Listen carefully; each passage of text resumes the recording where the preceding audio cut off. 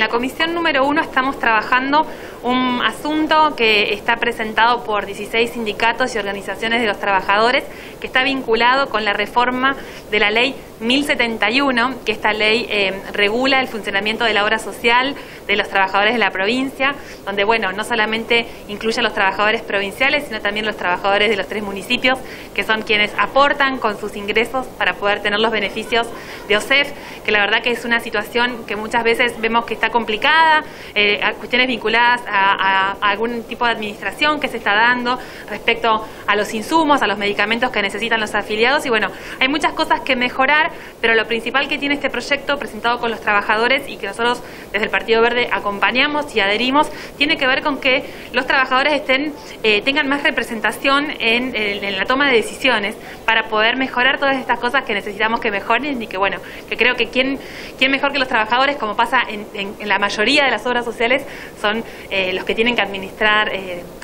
sus, sus, aportes en pos de poder brindar un buen servicio de salud en conjunto no con todos los con el sistema de la provincia.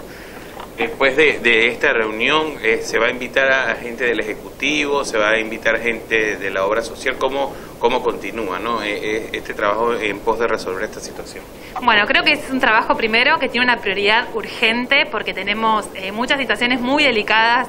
planteadas con esto, ¿no? con la necesidad de mayor acompañamiento a las personas que son derivadas, poder facilitar este, la compra de los medicamentos, este, poder garantizar las prestaciones que, bueno, que muchas veces se dificultan en conseguir turros, se cortan algunas prestaciones y demás. Nosotros primero, digamos, eh, tenemos que poner esto como una prioridad. En ese sentido, desde el Partido Verde nosotros pedimos a la OSEF que nos envíen un estado económico, financiero y contable para que nos digan bien cuál es la situación este, económica y financiera, cuál es la situación de deuda, si existe o no, respecto de algunos organismos en cuanto a los aportes. Y también eh, vamos a estar convocando a los 16 sindicatos este, que presentaron esta propuesta, ya vamos por la segunda reunión, así que nos quedan dos reuniones más, que bueno, por un tema de espacio y para poder escucharlos a todos y a todas, vamos, eh, dividimos en cuatro la participación de los 16 sindicatos y también, por supuesto, se va a escuchar al Poder Ejecutivo porque hoy por hoy, este, de acuerdo a lo que dice la ley, el presidente y la vicepresidencia de la, de la